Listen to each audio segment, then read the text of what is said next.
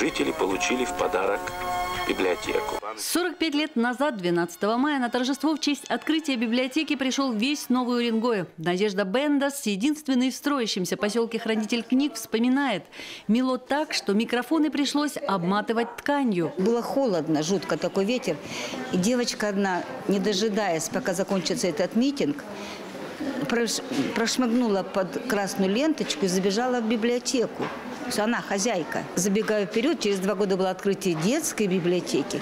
Дети так ломанулись в детскую библиотеку, сорвали дверь с петель. На открытии был и студент МГУ Дмитрий Лиханов, ныне прозаик и общественный деятель. Это стараниями его отца Альберта Лиханова, редактора советского журнала «Смена», среди тундры выросла первая новоуренгойская библиотека.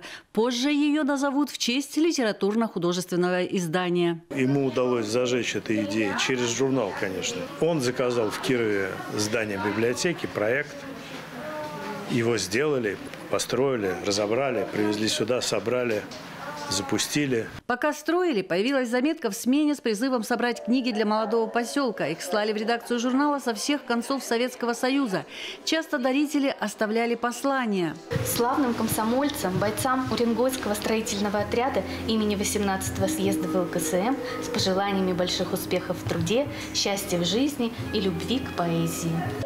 Книги, изданные в 70-х, 80-х годах прошлого века, легли в основу тематической выставки «Золотой фонд библиотеки» имени журнала «Смена». Книги из Золотого фонда нашей библиотеки, к сожалению, не выдаются, но с ними познакомиться можно у нас в нашей библиотеке. Читатели интересуются. Сегодня фонд библиотеки имени журнала «Смена» насчитывает четверть миллиона книг. Это библиотека нового формата. Бумажные книги были, есть и будут.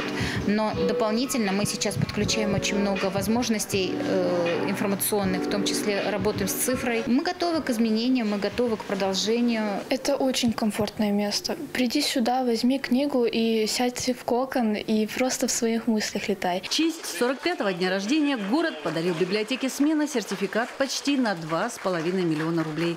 Вскоре ее фонд пополнится новыми книгами. Светлана Лач, Павел Сморовоз, Татьяна Демьянова. Время Ямала. Новый Уренгой.